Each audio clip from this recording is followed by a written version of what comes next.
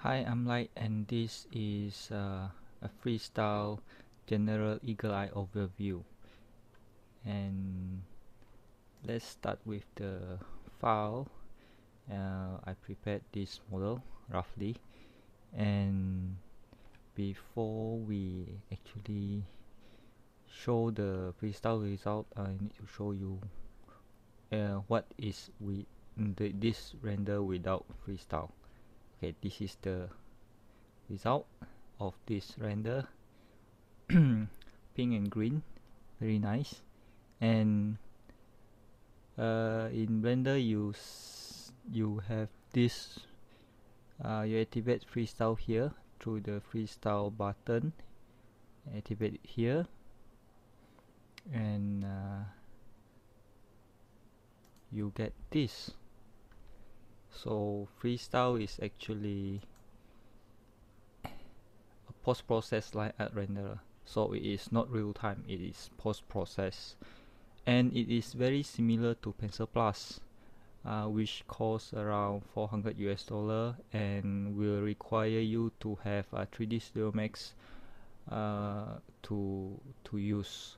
Pencil plus is a plugin for 3D Studio Max uh, it costs roughly uh, 3ds max will require you roughly 1.5k annually for renewal license.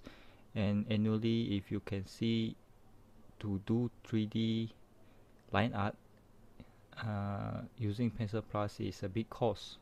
But freestyle works almost the same to pencil plus. Um, the settings mimic uh, pencil plus settings very well. And next view map. View map when you activate freestyle it this the settings do not pop up under it. Why? Because it is uh, first one view map where the, the information where freestyle is stored is only available in the render layer. Meaning one render layer only has one view map. And the setting for freestyle is uh, there's three panels here. Uh, it looks quite uh, scary at first but the logic is very simple. Uh, number one is this this freestyle panel is for uh, the view map uh, options for one view map you can these options are only one uh, okay. Your crease angle on you only can set crease angle per view map culling or face smoothing per view map.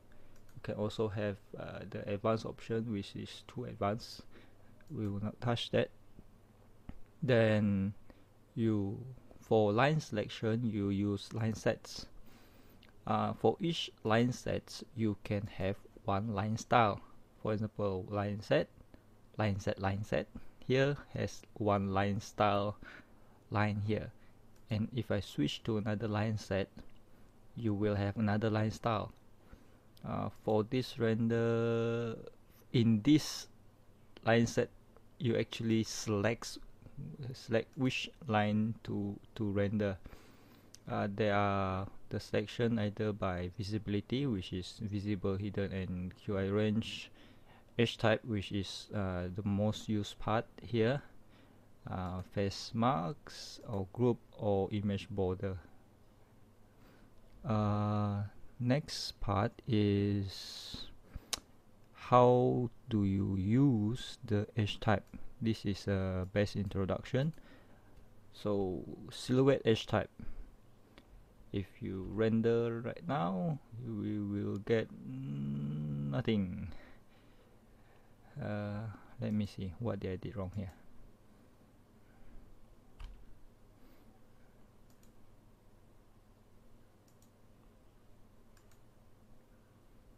Mm. okay. I turn on face mark and group. Okay here.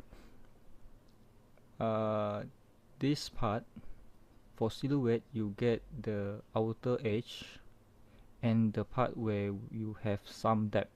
For example here and here. Uh, this is actually one mesh so when there's depth you can see a the silhouette line. And then we will go to crease. Crease is mostly the hard edge angle.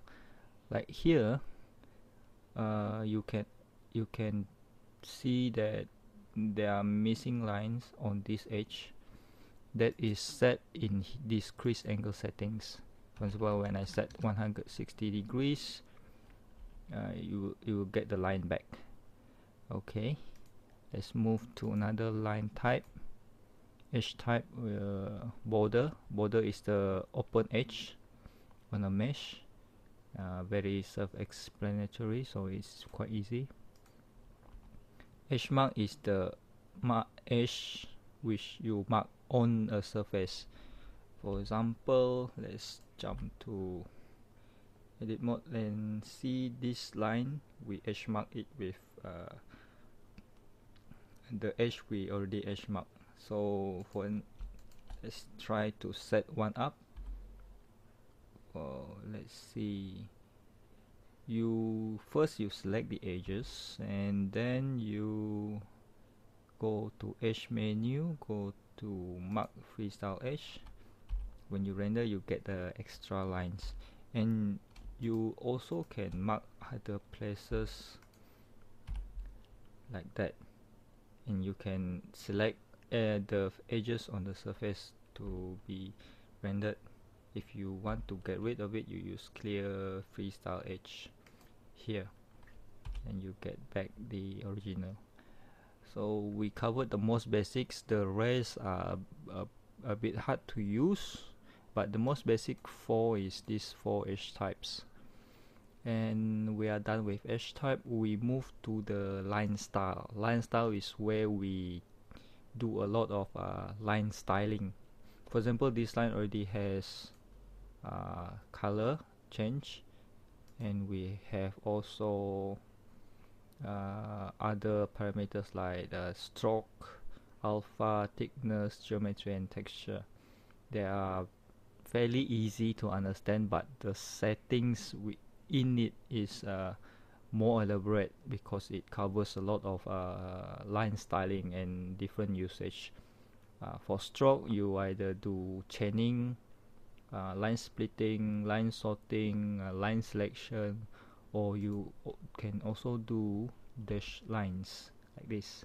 So this this setting is actually dash 1 gap 1 dash 1 gap 1 dash 1 gap 1 if you set 2 you have two only options there.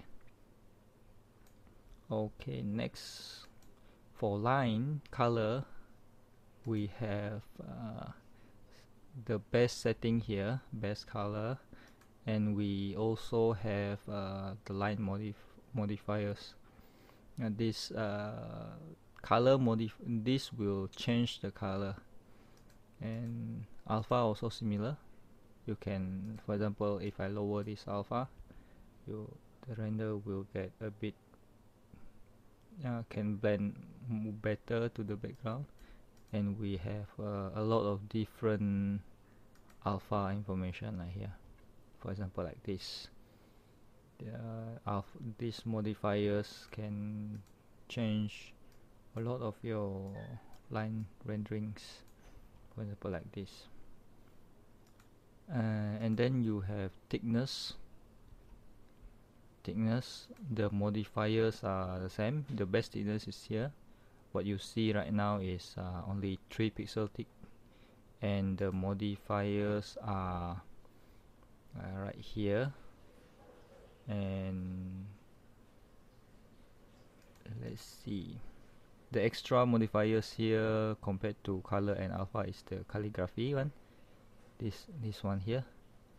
Uh, if you have you need a bit of uh, curve to actually preview this and then in the geometry tab you have the geometry modifiers. This actually change the shape of the line.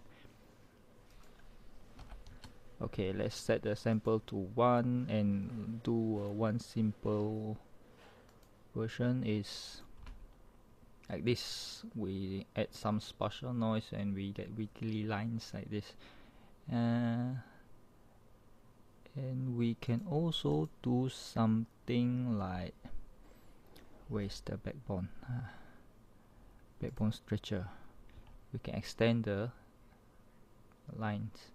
Uh, this is geometry often used with uh, chaining. If you turn off the chaining you will get a lot more lines like this.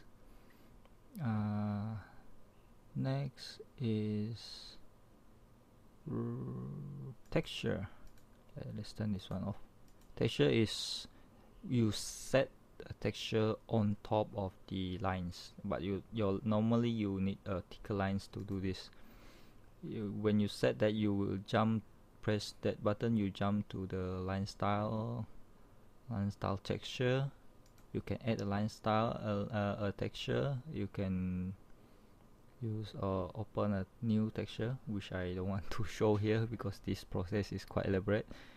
And then you choose the mapping method normally a long stroke or generated or normally either you use long a long stroke which along the stroke then if you use along the stroke you have uh, the option for tips. And then you map it either use color and alpha normally you use uh, the blend mode multiply to do it and you can change the color here.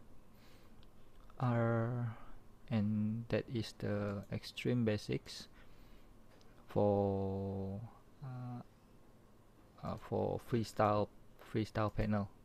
And the general thing that you see in freestyle is you think one render layer as a view map then when freestyle do the calculation it starts with loading the mesh. Then it do line selection uh, which is the line set here. Line selection is line set.